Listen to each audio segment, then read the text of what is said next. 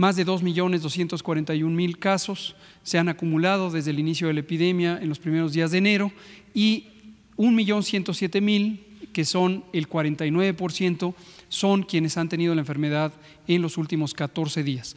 Pueden notar, como lo decimos todos los días, que esta proporción ha ido disminuyendo. Esto es porque estamos apreciando ya que la epidemia en la región europea está en una fase, en algunos países ya en declive, en otros ya en una fase de estabilidad, donde ya no se están agregando una cantidad importante de personas enfermas en las últimas dos semanas.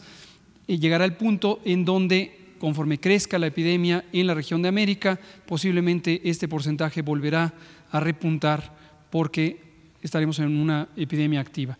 La letalidad global lentamente va ascendiendo en los distintos países. La siguiente. De lo que ocurre en las últimas 14 eh, días, tenemos ya desde ayer que la región de América tiene una mayor frecuencia de casos recientes comparado con la región europea y desde luego comparado con los demás continentes. La siguiente. México. La situación en México.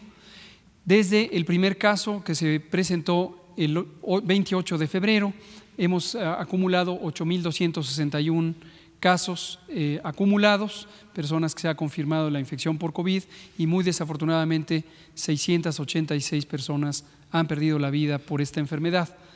Tenemos también que casi 50 mil personas han sido estudiadas y como hemos eh, indicado, el mapa cada vez está en los colores que representa un mayor número de casos confirmados en las distintas entidades federativas, aunque existe un predominio en las zonas metropolitanas, también en ciudades de tamaño intermedio se presenta transmisión y por eso se han pintado de este color amarillo o rojo los distintos estados con transmisión más importante. Veremos en unos momentos el mapa municipal para apreciar también la distribución en pequeños territorios.